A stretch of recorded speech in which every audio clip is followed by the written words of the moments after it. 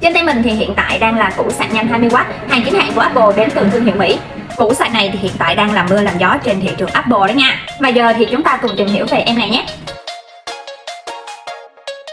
Về phần thiết kế thì nhìn ẻm rất là nhỏ gọn luôn Được thiết kế theo dạng hình vuông Nhìn thì rất là đơn giản nhưng mà không kém phần thanh lịch đó nha Ở phần chui sạc đầu vào thì có hai phích cắm chân dẹt thông dụng Nhưng được làm từ thép không gỉ Với thiết kế nhỏ gọn nên là các bạn có thể mang đi đâu bất kỳ lúc nào Rất là tiện lợi luôn nha với cổng đầu ra là Type-C, có thể tích hợp hỗ trợ sạc nhanh trên nhiều dòng điện khác nhau, giúp thiết bị được sạc đầy một cách an toàn và tối ưu nhất trong khoảng thời gian ngắn. Vì là hàng đến từ thương hiệu Mỹ, cho nên là các dòng chữ từ hộp nè đến củ sạc toàn là tiếng Anh không thôi. Về phần tính năng, vì là sạc nhanh lên đến tận 20W nên là em này có thể sạc đầy iPhone của bạn tương đối nhanh. Đối với dòng 13 series và 12 series thì có thể sạc 50% chỉ trong vòng 30 phút và sạc đầy thiết bị trong vòng một tiếng rưỡi đồng hồ. Đỉnh chưa? Chưa hết đâu, củ sạc nhanh này ngoài iPhone ra thì còn có thể sạc cho iPad nữa đó. Vì cổng Type-C này tương đối thông dụng nên bộ chuyển đổi này có thể sử dụng với nhiều loại cấp sạc sạc trên thị trường như cấp Type-C Type-C nè hoặc cấp Type-C Lightning nữa nè. Và hiện tại là củ sạc nhanh 20W kèm theo dây Type-C Lightning này là shop đang bán đó nha. Không chỉ có khả năng kết nối cao, kéo dài tuổi thọ pin mà em này còn giúp bảo vệ hiệu quả cho chúng ta khi sử dụng thiết bị nữa đó. Ngoài ra còn có thể chống nóng khi sạc không lo máy sẽ bị loạn cảm ứng. Đặc biệt